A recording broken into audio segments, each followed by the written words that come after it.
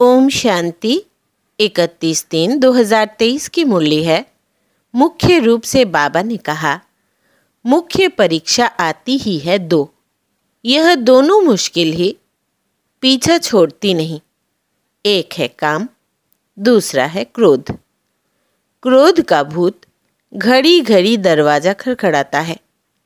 बाबा ने कहा, अपना मिजाज बहुत मीठा बनाओ, भूले चूके भी किसी को दुख मत दो। आगे कहा, ऐसा कोई भी कर्म नहीं करना है जो अपने ऊपर कृपा के बजाय श्राप आ जाए। कोई भी भूत के वश हो, ट्रेटर कभी नहीं बनना है। श्रीमत पर बहुत बहुत मीठा बनना है, चुप रहना है। बहुत मीठे मिजाज से बात करनी है। कभी काम या क्रोध के वश नहीं होना है। अब सुनते हैं महावाक्यों को विस्तार से।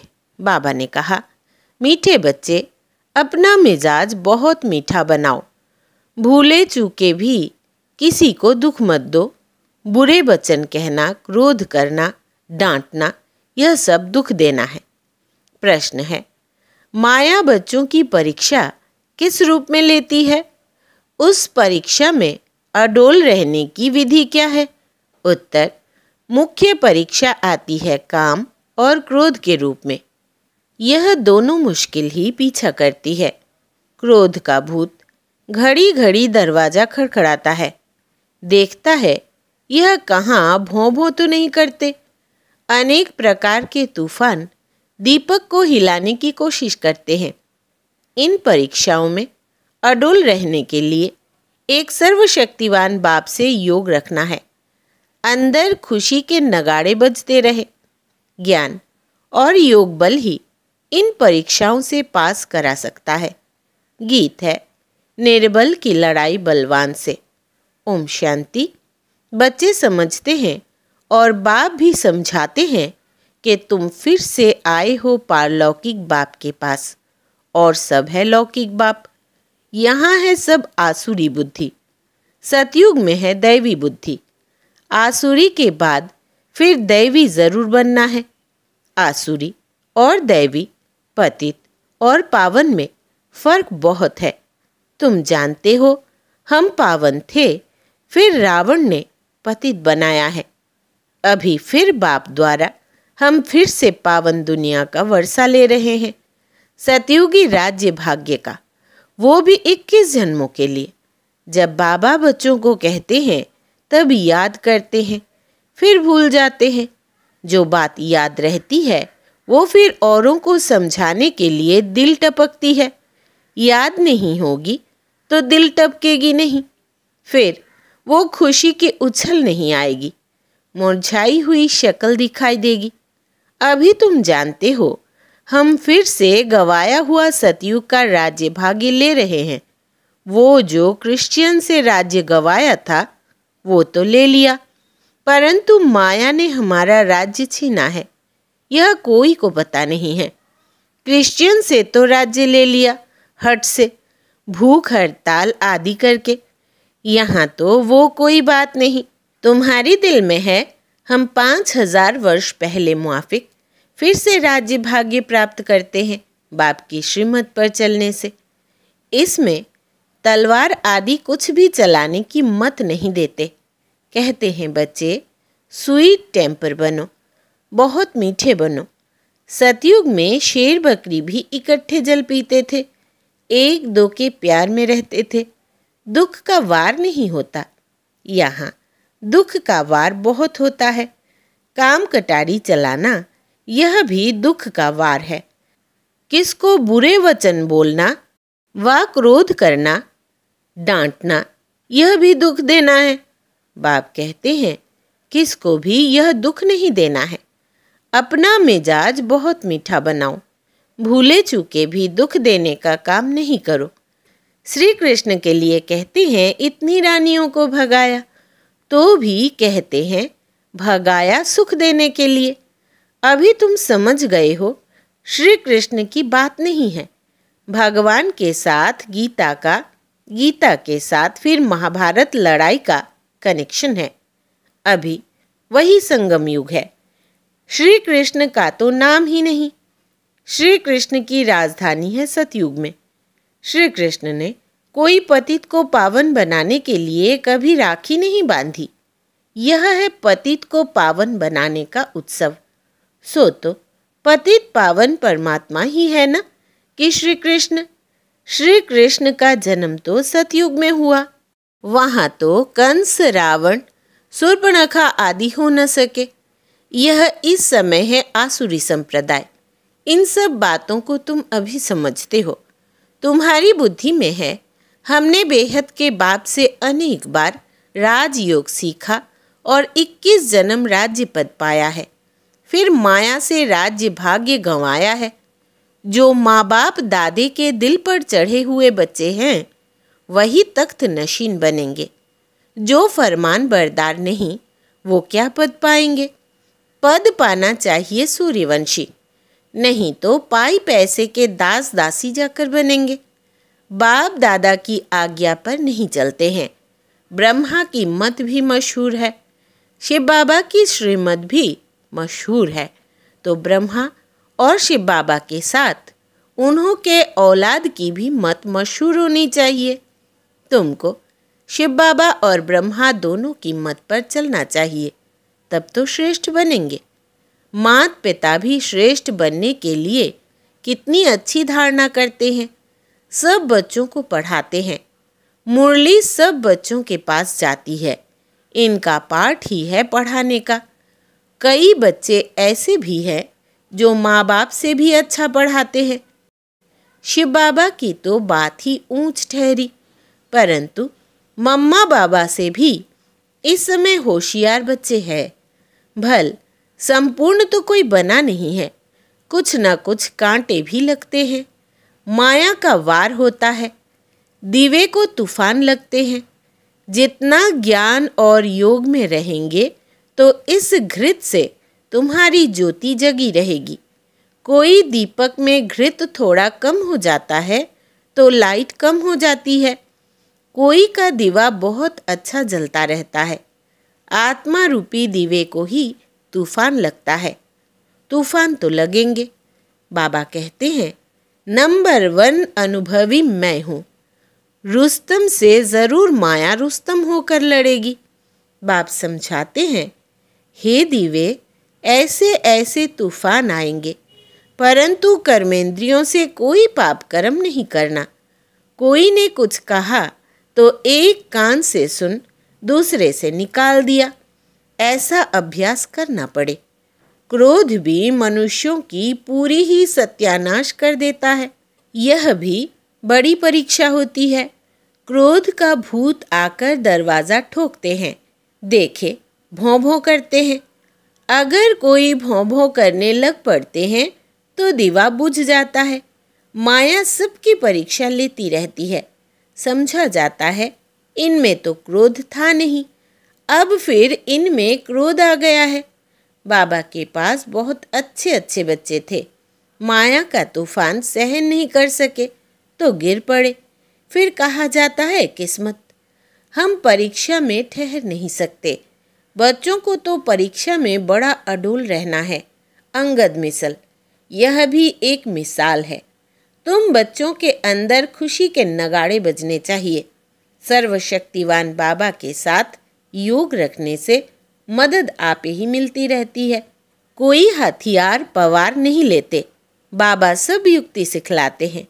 बाप को याद करो तो विक्रम विनाश होंगे। क्रोध की भी स्टेजेस होती है। काम का भूत तो बड़ा खराब है। चल कोई में काम का भूत फिर से प्रवेश न करे। उनको योग बल से निकाल देना है। योग से ही क्रोध का भूत भी निकलता है। घड़ी घड़ी दरवाज़ा खटखटाते हैं। कहाँ मर्जिन देखी और घुस पड़ते। यह पाँच चोर अंदर बहुत घाटा डाल देते हैं। हम कितने साहूकार थे। पाँच विकारों ने कितना कंगाल बना दिया है। इनका बड़ा सरदार है काम। सेकंड नंबर है क्रोध। काम बच्चू बादशाह है। बड़ा मुश्किल से पीछा छोड़ते हैं। बड़ा भारी दुश्मन है। बहुत तंग करते हैं। बेचारी अबलाएँ कितनी मार खाती है। उन्हों की फरियाद सुनी नहीं जाती। यह फरियाद सिर्फ़ एक बाप ही सुनने वाला है। परंतु वो भी सच्चे जो होंगे, उन्हों की सुनेंगे। झूठों की नहीं तो यह विकार मनुष्यों को एकदम डर्टी बना देते हैं। क्रोध की बीमारी उथल पड़ी तो क्रोध अपना भी सत्यानाश कराते हैं, दूसरे की भी खुराक बंद हो जाती है। हंगामा होता है तो बाप से जो खुराक लेने आते हैं, उन्हों का वो बंद हो जाता है, उन्हों पर बंधन आ जाता है। फिर उनकी अविनाशी भविष्य जन्म जन्मांतर की आजीविका बंद हो जाती है। ऐसे जो परमपिता परमात्मा से वर्षा लेने में विघ्न डालते हैं, उन पर कितना पाप पड़ेगा? बात मत पूछो। वो जैसे कि अपने ऊपर कृपा के बदले श्राप डालते हैं। कोई ट्रेटर बन जाते हैं तो कितने का नुकसान करते हैं। भविष्य हीरे जैसा जीवन बनाने में रुकावट पड़ती है। इसलिए बाप कहते हैं, महापापी, महाबेसमझ महाकमबख्त देखना हो तो यहाँ देखो। कोई अखबार में उल्टा सुल्टा डाल देते हैं तो बेचारी माताओं पर कितनी आपदाएँ आ जाती है। जानते हुए और फिर कुछ करते हैं तो उन पर धर्मराज की कितनी मार पड़ेगी। बाप कहते हैं, ऐसा काम कोई नहीं करे जो ट्रेटर बने और अबलाओं पर अत्याचार हो। उनको गाजी भी कहा जाता है। माथे में खून का टेम्परेचर चढ़ जाता है तो फिर तलवार उठाकर मारने लग पड़ते हैं। फिर उनको फांसी पर चढ़ा देते हैं। यहाँ भी ऐसे बन पड़ते हैं। कोई में क्रोध का भूत आ जाता है तो कितनों को आजीविका बंद करा देते हैं। बाप कहते हैं, ऐसे के लिए फिर बहुत कड़ी सजा है। जो ट्रेटर बन विघ्न डालते हैं, उनके ऊपर बड़ा पाप चढ़ता है। चढ़े तो चाखे वैकुंठ रस, गिरे तो एकदम चखनाचूर। या तो बैकुंठ का मालिक, या तो नौकर चाकर। ऐसा काम जो करेगा तो इतना ही पाप आत्मा भी बनेगा। बहुतों को दुख देने के निमित्त बन जाते हैं। बाबा को तरस पड़ता है। माताओं का तो रिगार्ड रखना है। बंदे मातरम गाई जाती है। बाप आकर कलश माताओं पर रखते हैं। उन पर अत्याचार बहुत होते हैं। तो उसी की लदे बच्चों को मदद बहुत देनी चाहिए। अगर कोई मदद के बदले और ही उल्टा काम करते हैं तो कितना नुकसान हो जाएगा। बहुत सपूत बनना है। असुर को देवता बनाना है। बाबा तुम्हारा जीते जी नया चित्र बनाते हैं। आर्टिस्ट लोग चित्र बनाते हैं ना? फिर जो बहुत अच्छा बनाते हैं उनको इनाम मिलता है। यह बाप कहते हैं, मैं ज्ञान और योग बल से तुम्हारे चित्र ऐसे बना रहा हूँ, जो तुमको यह शरीर छोड़ने के बाद एकदम फ़र्स्ट क्लास शरीर मिल जाएगा। तो मनुष्य से देवता बन जाएँगे। ज्ञान योग बल से तुम कितने गोरे बन जाते हो। बाबा जैसा फ़र्स्ट क्लास कारीगर कोई होता नहीं। यह बाप का ही काम है। मनुष्यों को देवता बनाना। यह है नंबर वन सर्विस, जिससे सारी दुनिया पलट जाती है। उस स्वीट फादर को कोई जानते नहीं, सर्वव्यापी कह देते हैं। मनुष्यों की बुद्धि में यह भी नहीं है कि यह नरकपति दुनिया है। यह सिर्फ़ तुम बच्चों की ही बुद्धि में है। बड़े बड़े करोड़पति सबका धन मिट्टी में मिल जाएगा। बड़े दुखी हो मरेंगे। आजकल तो बड़े बड़े आदमियों को भी मारते रहते हैं। दुश्मनी कड़ी हो जाती है तो बात मत पूछो। बड़ा खराब समय आना है। अब तुम बच्चे पुरुषार्थ कर रहे हो भविष्य के लिए। और कोई भी भविष्य के लिए पुरुषार्थ नहीं करते हैं। पुरुषार्थ में फिर माया भुला देती है। फिर जैसे के वैसे बन जाते हैं। माया एकदम मुँह फेर देती है। इसलिए बहुत संभाल करनी है। जितना हो सके खुशी से बाबा को याद करना है। हम बाप से 21 जन्म सुख का फिर से वर्षा ले रहे हैं। बाप को याद करने से खुशी होगी। वो इन आँखों से महल आदि देखते हैं, तब खुशी होती है। तुम दिव्य दृष्टि से अथवा ज्ञान के तीसरे नेत्र से जानते हो कि हम बाप से सदा सुख का वर्षा लेते हैं। अगर बाप की मत पर चलेंगे तो। सावधान तो करते रहते हैं। बच्चे श्रीमत पर बहुत मीठे बनो। चुप रहो और बाप को याद करो। तुम बच्चों जैसा सौभाग्यशाली इस सृष्टि पर कोई नहीं है। तुम स्वर्ग का मालिक बनते हो। वहाँ बड़ा सुख है। यह भी जानते हैं, राजयोग वही सीखेंगे जो कल्प पहले सीखे होंगे। तुम देखते हो पंडे सर्विस कर फूलों को व कलियों को बागवान के पास ले आते हैं। फिर उन्हों को सर्विस की आफरीन भी मिलती है। ज्ञान है बहुत सहज। इस जीवन को मोस्ट वैल्यूएबल कहा जाता है। पत्थर से हीरे जैसा, गरीब से साहूकार बनते हैं। गाया हुआ भी है। अतीन्द्रिय सुखमय जीवन गोप गोपियों से पूछो। कौन से गोप गोपियाँ? जैसे बाबा ने सुनाया, यह है बड़ी लॉटरी। बाप स्वर्ग का रचयिता है तो बाप और स्वर्ग को याद करना बहुत सहज है। विश्व का मालिक बनना कम बात थोड़ी ही है। वहाँ दूसरा कोई धर्म होता नहीं। बच्चे जान गए हैं कि हमने आधा कल्प अनेक प्रकार के दुख देखे हैं। अब बहुत अच्छा पुरुषार्थ करना चाहिए। इस दुनिया में कोई सुखी हो नहीं सकता। वहाँ तो सब सुखी होंगे। ऐसे सुख के राज्य में ऊंच पद पाने में मज़ा बहुत है। बॉक्सिंग में घड़ी घड़ी थप्पड़ खाते गिरते नहीं रहना है।